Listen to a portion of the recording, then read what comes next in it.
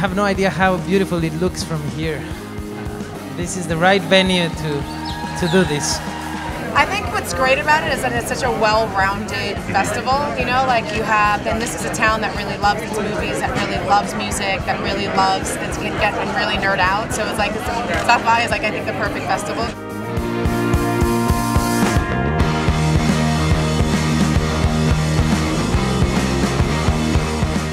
Yeah, we, we need film to celebrate uh, our heroes and, and we need film to acknowledge that the Latino community has a diversity and richness that needs to be on the screen.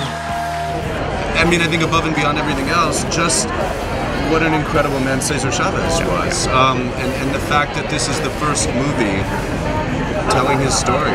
Well, that today people have to be reminded that Cesar Chavez is part of American history, that uh, uh, they they brought change for a community that was in the need of, uh, of attention, an ignored community, and he gave strength to, to these people. And uh, we just have to inspire young people that change is in our hands, and Cesar's is a great story to do that.